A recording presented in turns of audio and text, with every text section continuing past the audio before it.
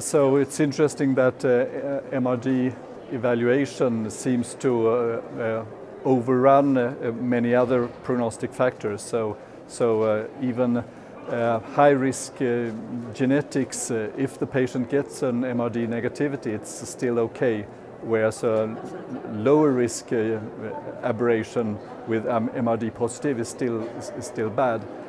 Uh, so, but then of course uh, you need to know what, uh, what, to what to analyze with the MRD and I think um, it's very interesting with the development of these uh, specific quanti quantitative evaluations of the different mutations that we can do with this uh, digital droplet uh, PCR uh, monitoring uh, that we have started up to, up, up to do. Because uh, we know that there are uh, uh clonal subsets and they uh, develop uh, in different directions and we really don't know which of the mutations that is in the individual case is the most important one. So, um, so uh, it's an uh, interesting area, but uh, I think we, it will take many years. Guidelines actually is, is in press as manuscript form in Blood this week.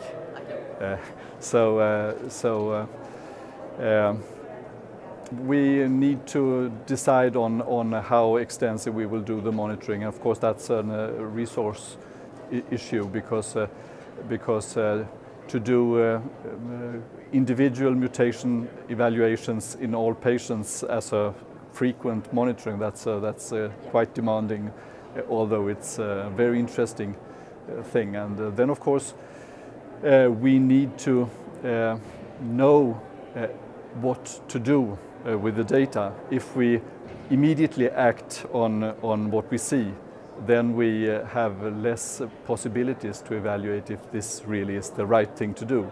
Uh, whereas if we are conservative and just analyze and then do what we always have done, then we can analyze if, if, uh, if the testing is important or not. So